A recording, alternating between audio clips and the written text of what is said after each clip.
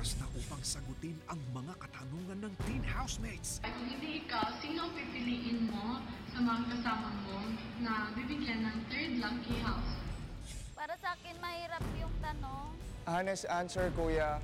No offense, pero Marami kong sinakripisyo para lumaban dito. At live nating malalaman kung sino sa kanila ang mapipili ng teens para makakuha ng third lucky house. Pinoy